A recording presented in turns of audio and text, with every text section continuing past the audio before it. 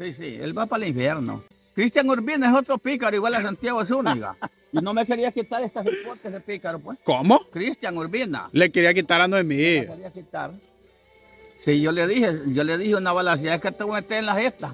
Pero y Cristian no es medio, medio cumbo también. Yo creo que es como el chingado ese. Y se la lleva de predicadora, ya andaba, bueno, ahora no lo anda. Pero yo cuando conocí a Cristian Urbina andaba una penca cacho. No, ya no lo anda, ya anda desviado, ya toma y fuma y todo. Ay, hermano. Le gusta jugar con Dios. Ya se, como dijo Santiago, ya se lo llevó el diablo. Es que le gusta jugar con Dios. Sí, Dios, es, no- Dios no es juguete de nadie. Es mejor no ir a la iglesia. ¿no? ¿Quieres que le diga una cosa? Ajá. ¿Quiere, le digo, ¿Quiere que le diga algo? Ese es el problema. Mire, fíjese bien, cuando un hombre acepta a Cristo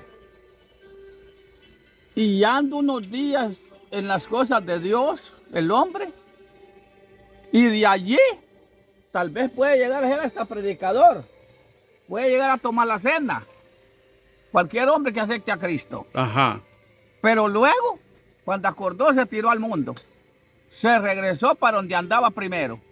Ese es el problema. Doblemente pecado, hermano Blas. Por una parte es doble el pecado y va para el infierno. Y por otra parte,